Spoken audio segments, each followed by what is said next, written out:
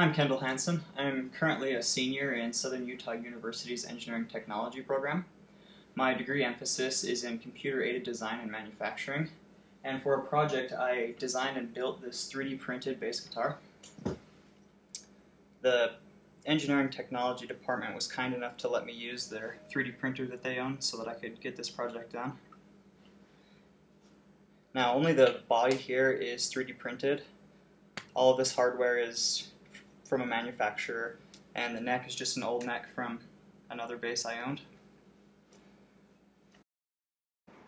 So this is the design that I came up with in SolidWorks. You'll see that slot running down the middle of the body is for the wood inlay that I put in. Um, the print bed on the 3D printer is only 8 by 8 by 6 inches, so I actually had to break down the body into five separate pieces in order for it to fit in each print. Um, you'll see on some of those that the uh, electrical cavity is hollowed out and I've got some little conduits running so that I could wire it up eventually. I even added those little dowel holes so that I could reinforce the body when I put it together with some wooden dowels. Um, you'll also see that I designed the electrical cap and the output jack cap separately too and I printed those out to use as well. The printing material is an ABS plastic filament you'll see here I've got the five pieces printed out and ABS is actually acetone soluble.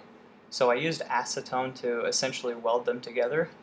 You just put acetone on each surface and stick them together and within a few minutes they'll fuse into one piece.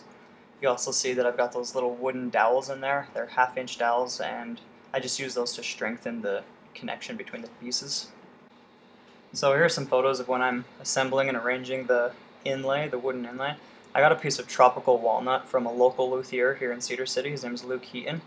He works at Whittlesticks, and he actually helped me quite a bit with a few pointers on this project.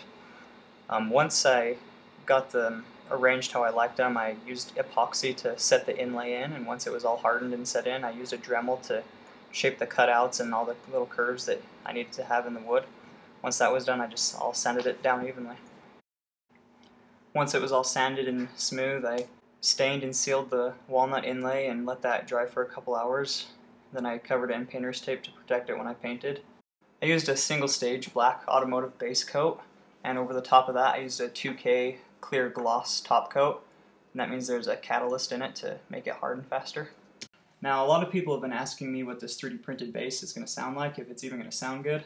So to demonstrate the sound, I've thrown together a quick arrangement of Johann Pachelbel's Canon in D in that mix, there's a little bit of reverb just to get that effect, but other than that, the tone and the sound is just coming from the bass. I've got Seymour Duncan quarter pound jazz pickups and D'Addario half round strings.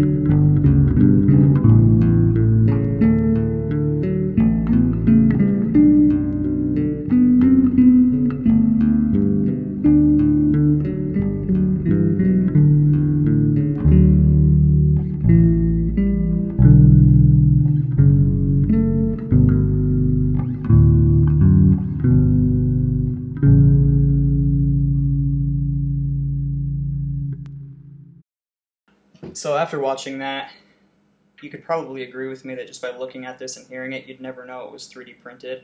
It looks and sounds just like a great manufactured bass. Um, the bulk of the tone is coming from the strings and the pickups anyway because it's electric. If this were acoustic, it'd be a much different story. But, I mean, for this, this ABS plastic works just fine for the body. Um, I think in the meantime, though, just the more traditional method of cutting or milling out a stock of wood for a body like this would be the most cost effective way, but as 3D printing and the material becomes more available to consumers, we might see this catch on more.